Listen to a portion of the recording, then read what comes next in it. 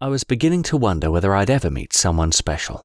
You see, my Christian faith is very important to me, and I really want to find someone who shares this. I wasn't meeting anyone socially or at work, and my experience of trying online dating sites has been a complete waste of time.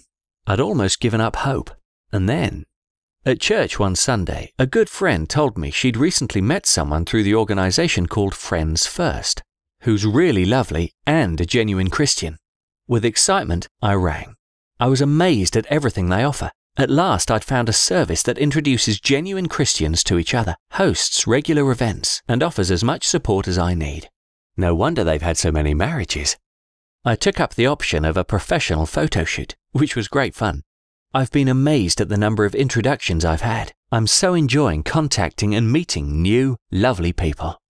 If you're like me, hoping to find a partner, then contact Friends First. They're really friendly and so easy to talk to.